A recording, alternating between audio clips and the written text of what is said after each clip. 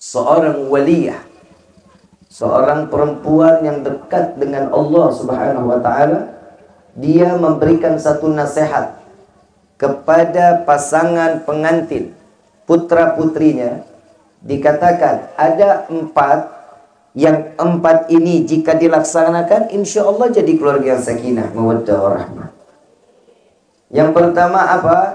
Yang pertama ini susah nih dalam rumah tangga ini paling susah nih yang pertama perhatian Perhatian nggak sama suami? Kapan perhatian terakhirnya? Pas mau lebaran begitu. Bapak perhatian nggak sama ibu, Pak? Enggak. Enggak. Ya dari perempuannya juga. Laki-laki itu gimana lawannya, Pak? Perhatiannya seorang laki-laki gimana perempuannya? Kadang Ibu pernah nggak whatsappan sama bapak? Teleponan sama bapak pernah? Jawaban singkat apa panjang? Singkat kan? Oh panjang? Pernah nih, saya yakin di seumur hidup kita nih kalau teleponan sama suami pernah. Assalamualaikum. Salam. Yang lagi ngapain? Kantor.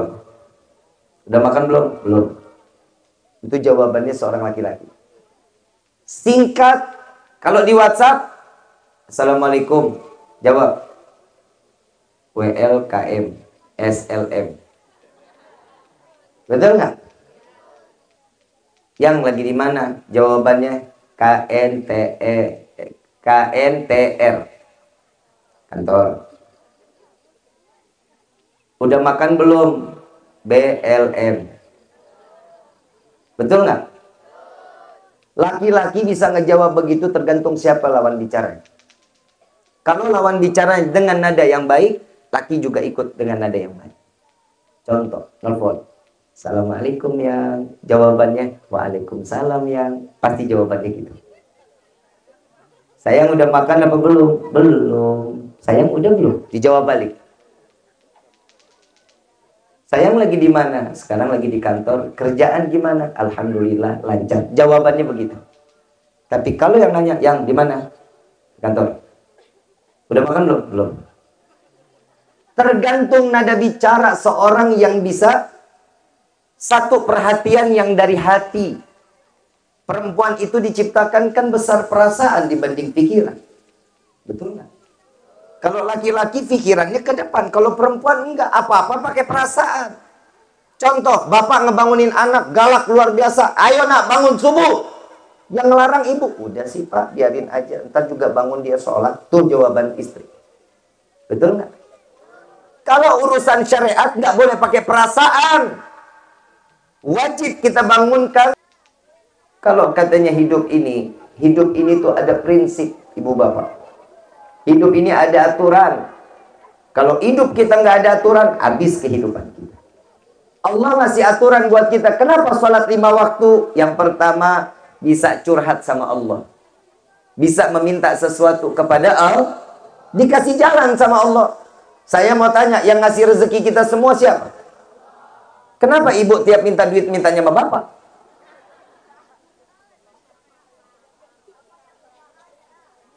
Bapak apa? Yang kerja bapak. Yang ngasih rezeki bapak siapa? Kenapa bapak mintanya juga sama bapak ibunya?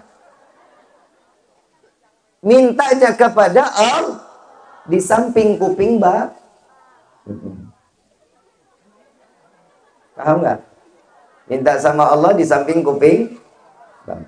Ya Allah, pengen banget punya mobil agak bagusan dikit. Itu insya Allah suami bilang, ah belaga budek aja belaga budek. Yang pertama saling perhatian. Bapak ngomong, mau dimasakin apa? Ngomong. Bapak setiap hari ibu masakan? Masak nggak? Pernah nggak ditanya? Yang mau makan apa besok? Pernah ditanya? Liam. Saya nanya bapak. Pak, ditanya nggak? Enggak. Gue udah yakin perempuan di sini kalau belanja tuh semau beroknya dia. Dia pengen apa dia masak itu. Terserah aja suami mau doyan mau enggak bodoh amat. Betul kan? Ada istri yang begitu ada. Tukar tambah mamangkau. Bu, perhatian dari segi apa pun. Zahir wa batin. Perhatian itu harus ada. Bapak kalau mau istri yang terbaik buat diri bapak, maaf, di dunia ini nggak ada perempuan yang sempurna. Dan nggak ada laki-laki yang sempurna, nggak ada. Kecuali pasangan kita sempurna di mata kita. Betul? Kalau bapak mau menyelamatin seorang istri, bapak ngomong. Bapak jangan ngedumel dalam hati. Apa ini masak tempe lagi, tempe lagi. Dikasih uang 200 ribu. Tiap hari saya asam. Darah tinggi si bapak. Ngomong. Yang aku suka kalau kamu pakai baju warna ini. Nah, ngomong. Yang aku suka kamu nih pakai minyak wangi, minyak wangi ini. Ngomong. Itu tandanya perhatian. Kenapa? Karena itu yang diinginkan oleh seorang suami. Contoh, ibu suka minyak wangi ini nih. Uh, suka. Enak bener minyak wanginya. Tanya sama suami, suka nggak baunya? Nggak suka. Jangan dibeli. Ada ibu cium wanginya, nggak enak. Ibu nggak suka. Suami cium, enak, suka, beli. Paham kan? Yang cium ibu siapa emang? Bapak apa suami? Suami apa bapak? Kenapa lu minyak wangi beli semau-maunya? Itu contoh perhatiannya. Yang kedua, yang kedua ini boleh dibilang jarang ada di rumah tangga jika pernikahan itu di atas 10 tahun. Kadang lima tahun aja udah terjadi. Yang kedua apa? Banyaknya komunikasi. Antara suami dan istri komunikasi. Tanya, apa yang dia mau, apa yang enggak komunikasi. Ngobrol. Masalah kerjaan kah? Masalah rumah tangga kah? Masalah apa? Komunikasi. Kalau komunikasinya nggak baik, kehidupan rumah tangga nggak akan baik. Timbul adanya masalah dari kurangnya komunikasi. Jangan diem-diem aja.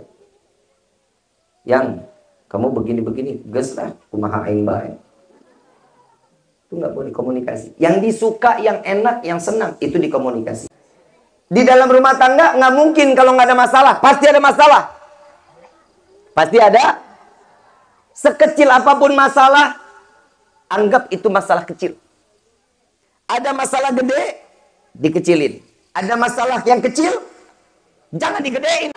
Buang. Ilangin. Lo nggak kebayang masalah kecil digedein, masalah gede apa kiamat kubro. Ada masalah kecil hilangin. Dan bikin komitmen di dalam rumah tangga.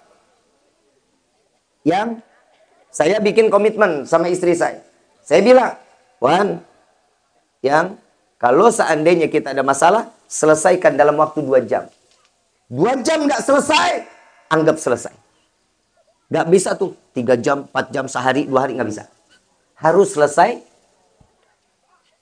Dan Bapak harus ngerti. Kalau kalau yang namanya istri lagi marah-marah, Pak, lagi marah-marah, yang dibutuh bukannya Bapak ngelayanin marahnya, bukan. Saat si perempuan marah, istri marah, cuman butuh pundak Bapak. Peluk. Kasih sayang sama itu istri. Pernah nggak digituin, Bu? Berarti seumur-umur laki yang begitu gue doang kali ya. Pak, Pak, hidup jangan kaku-kaku banget. Kenapa sih, Pak? Lo hidup kaku banget kayak kanebo kering. Bapak kan nikahin istri penuh dengan kasih sayang. Betul nggak? Kasih sayang karena Allah apa karena hawa nafsu? Nafsu. Pengen lihat mana yang tadi ngomong nafsu? Kalau nafsu pakai nasi. Bu, Bu. Komunikasi ya. Banyakin komunikasi. Bib, suami saya kerja di luar kota. Komunikasi. Nggak ada. Yang susah nggak ada. Video call bisa. Kan? SM, apa WhatsApp bisa. Bisa semua dengan cara komunikasi yang baik bisa. Yang ketiga. Mawaddah. Tahu mawaddah? Curahan kasih sayang. Kalau anak sekarang bilang mah gemes. Ngegemesin. Manja. Ya, Ayam baru pulang, tiduran di pahanya. Lu kalau nggak disenggol lu, ih berat. Betul nggak Pak? Bu, pernah tiduran di paha Bapak? Kapan? Terakhir kapan terakhir? Pasti gue yakin lupa. Enggak. Masih ingat? Kapan terakhir? Belum lama, Alhamdulillah. Itu juga cuma tiga orang. Bapak terakhir tiduran di paha ibu kapan? Ada yang ngomong tadi sore katanya. Entu mah ngedidis nyari kutu. Ada dikit. Nabi SAW kayak begitu nggak? Sama. Nabi Muhammad kadang tidur di pangkuan Siti Aisyah. Kadang Rasulullah mangku Siti Aisyah ada romantis di dalam rumah tangga, saling ngegemesin. Ya, karena seorang istri itu takdirnya itu membuat senang laki-laki. Oh, tong. Ah, hehe, ah, hehe. Ini anak siapa sih cab cabut-cabutin baterainya tuh? Takdirnya seorang istri itu kan pakaian suami, betul? Suami juga pakaian istri. Satu sama lainnya tahu apa yang dia suka, apa yang dia nggak suka. Ini lebih dari perhatian, lebih dari komunikasi. Ini kasih sayang, ini gemesin. Ada satu kisah Nabi Muhammad SAW di depan rumahnya tuh, depan rumah Nabi ada musik, lagi main duf, lagi main duf. Ada yang menari-nari, laki-laki lagi pada menari-nari di depan rumah Nabi. Rasulullah tahu Siti Aisyah pengen banget nonton. Akhirnya Rasulullah yang buka jendela rumah. Dibuka jendela rumah, Rasulullah panggil Siti Aisyah. Ya Aisyah, sini wahai istriku. Mau nonton nggak? Mau ya Rasulullah. Samperin Rasulullah. Dagunya Siti Aisyah ditaruh di pundaknya Nabi Muhammad SAW. Kebayang nggak? Kebayang nggak? Berarti wajahnya Siti Aisyah ada di mana? Di samping wajah Rasulullah Sallallahu Alaihi Wasallam. Ditanya, sudah belum? Belum ya Rasulullah. Tanya lagi, udah belum? Belum ya Rasulullah. Beberapa lama ditanya lagi, udah apa belum? Belum ya Rasulullah.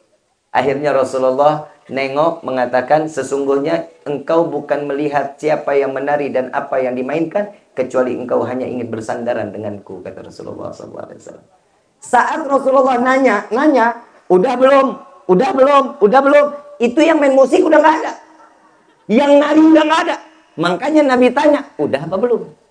Ternyata kenyamanan seorang wanita itu tatkala dia ada di samping suaminya. Pak, kalau istri lagi ngedeketin jangan ngejauh ya. Jangan. Yang namanya perempuan itu kadang kalau lagi head, ini lagi mau datang head, marah-marah, emosinya nggak kontrol, dimaklumin. Kenapa? Karena hormonnya itu sangat-sangat luar biasa. Pinggang sakit, betul. Kepala migrain, betul. Tidur kanan salah, tidur kiri salah, betul. Tuh, pengorbanan seorang is istri.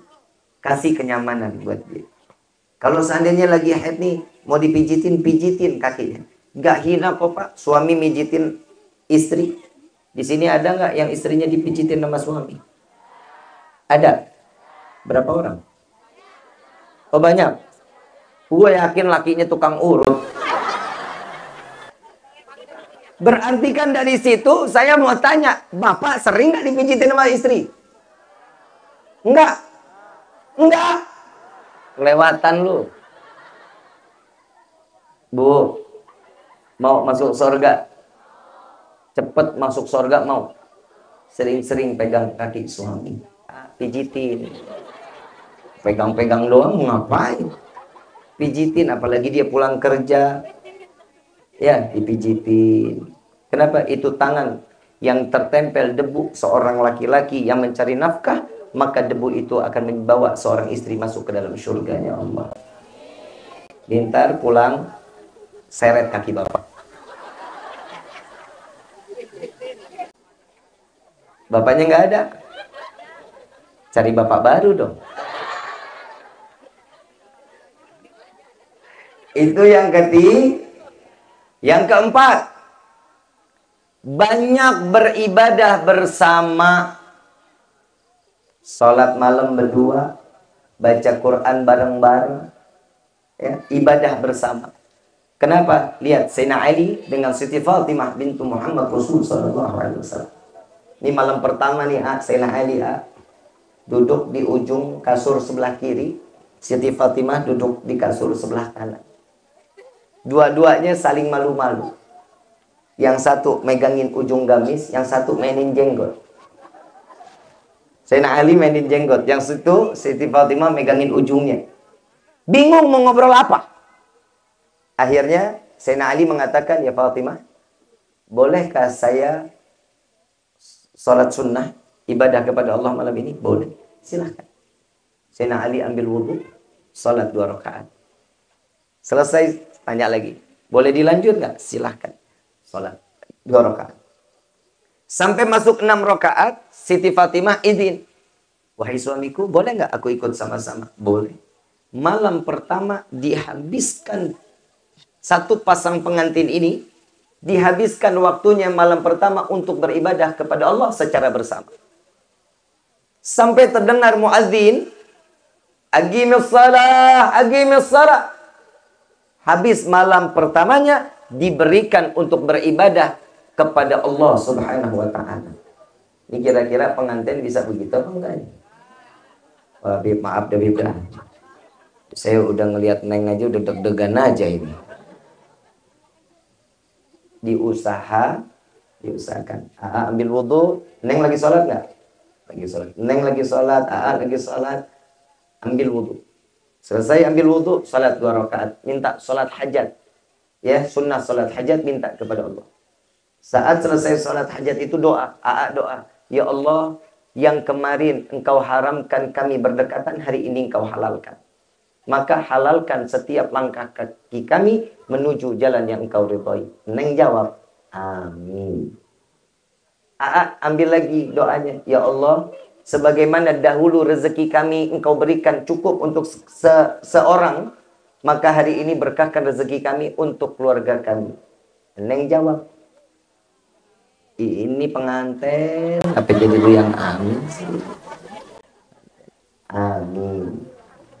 Aa ngomong lagi, ya Allah, yang dahulu saat kami kami bersentuhan haram engkau hitung di dalam perzinahan maka di hari ini engkau halalkan maka keluarkan daripada kami bibit yang saleh salehah no.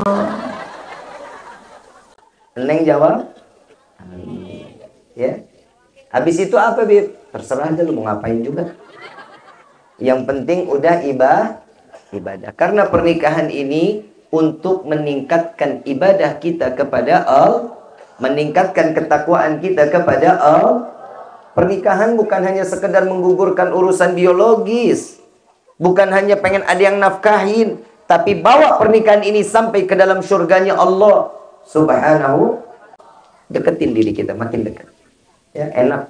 Ah, dulu AA sholat sendiri pahala cuma satu. Sekarang salat berdua sama istri, pahalanya 40. Perempuan boleh yang namanya perasaannya dipakai, tapi ingat perhatian, perhatian, komunikasi, saling sayang, mawaddah, dan beribadah bersama ini jangan pernah diilangin. Ya, insya Allah ini ciri-ciri menjadi istri atau keluarga yang sakinah, mawaddah, warahmah. Mudah-mudahan semua kita di sini nih rumah tangga kita sakinah, mawaddah, warahmah yang di sini menjadi istri-istri yang salehah, menjadi suami-suami yang saleh, suami-suami yang jadi imam dunia wal akhirah, yang dapat membawa istri kita sampai masuk ke dalam surganya Allah. Amin ya rabbal